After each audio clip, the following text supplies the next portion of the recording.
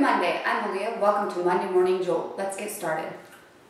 Good morning. With us here today is Steve Franks. And Steve Franks is a very popular person here in town with a lot of young entrepreneurs and people who has ideas, right? And he's a very young guy too, That's correct. Really young. really young. Uh, and you know, we both have a similar background. We go to the same barber. Same barber, right? So Steve, I know one of the things that you do is um, with two of your partners is the founders, right? Yes. Tell us a little bit about founders. So, uh, Founders, uh, I'm, I'm a co-founder, if you will, of Founders, along with Ray Angel and Ryan Immel. And Founders is a free co-working space downtown Fort Wayne, 614 South Harrison. What we do there, we provide uh, table spaces for people to come in, bring their laptops or other stuff, and just do some work. It's for like independent workers, entrepreneurs, creatives, freelancers, and people like that. We felt that there needed to be a place here in town, uh, probably downtown, that's why we chose it, we love downtown, that was free. And uh, something that didn't cause you to have to pay five hundred or thousand dollars a month for a, for a, a room, if you will, or a release. So how is uh, co-working different from virtual office? Uh, virtual office, I'm not sure exactly what you mean by that, but co-working is very simple. You can just come in and leave whenever you like. Uh, bring your stuff, sit down in your table spot, and, uh, and and go. And the other thing that's different about it, I think, is that it's very collaborative. Uh, there are people here all the time working together. You'll see them get up and they'll leave and they'll go into one of the front rooms and maybe take a dry erase marker and write on the windows or something like that, or come in here and use the whiteboards and, and that sort of thing. So if somebody is not an entrepreneur, how, how does this apply to them? There are a lot of people that are here that aren't entrepreneurs. There are a lot of people here that are independent workers. Uh, there, there's a trend toward independent workers today as opposed to companies hiring employees, and sometimes they don't have office spaces. So instead of working at home, you can come and work here. Uh, we have people that range from artists. Uh, we have a novelist that comes here.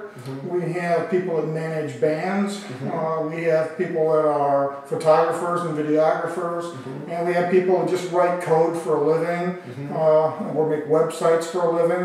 Uh, not all of them would consider themselves to be entrepreneurs. So before Maleah gets to the, the other questions, I just want to tell that uh, Steve wrote this book, right? And then he is also part of many other business ventures. I have a lot of little side ventures. I. I, I need to take my own advice someday and become more focused. Okay. so what is this book, uh, Steve? Uh, this book is called Innovation Rules and Tools. Uh, it comes from one of my past lives where I did some innovation consulting for about six years before I joined the Innovation Center.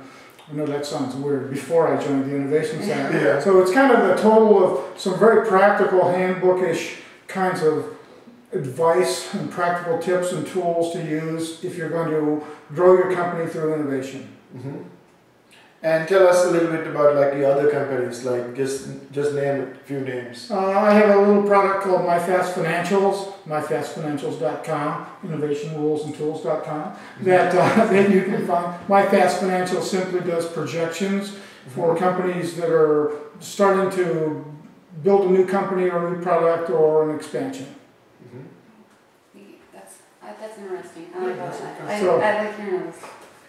Uh, can you tell us why Mondays are great? Well, I think Mondays are kind of like a reboot time, if you will. Uh, I mean, uh, to me at least, uh, although I, I happen to be here like I think seven days a week, it still seems like Sundays is a, is a time for a little bit of rest. And on Mondays, it just gets to regenerate and it starts all over again. The people that I don't necessarily see as much here on the weekends, I see on Yeah. Monday, they start trickling in. And it's just kind of neat to be around all the people again and reboot the week. I like that. That's neat. Uh, what do you do to kickstart your Mondays?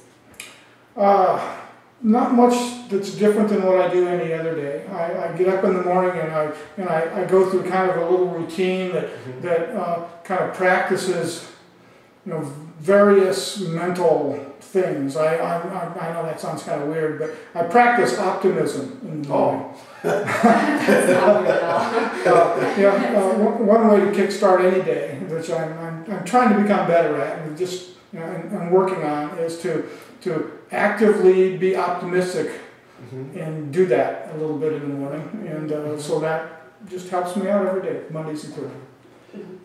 So, like, if our audience has to get one advice from you, right? And you know about our show, from a business perspective, give us like one little advice that they can use practically every day.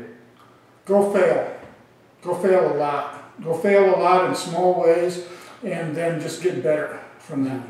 Uh, just do not be afraid to fail, and in fact, encourage it. That's an awesome advice. It is. I never- I'm doing pretty good at that. Do you have an adage by which you live your life by? Wow. You know, I don't really think that I do have an adage that I live my life by.